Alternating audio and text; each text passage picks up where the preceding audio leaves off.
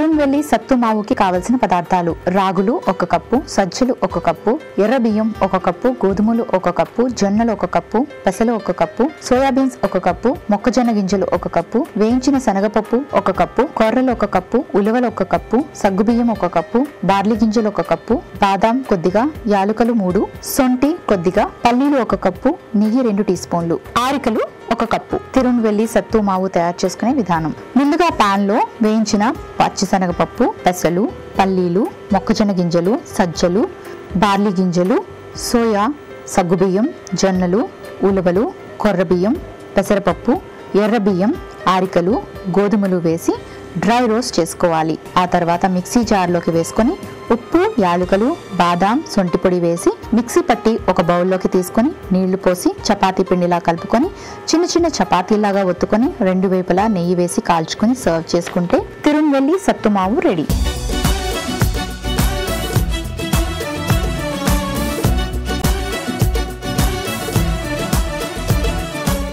ఇప్పుడు యూట్యూబ్లో ఈటీవీ అభిరుచి ఛానల్ ఉంటుంది. దాన్ని సబ్స్క్రైబ్ చేసుకోండి. మన ప్రోగ్రామ్స్ అన్నీ మీకు వీలైన టైంలో చూసుకొని చక్కగా ఎంజాయ్ చేయండి.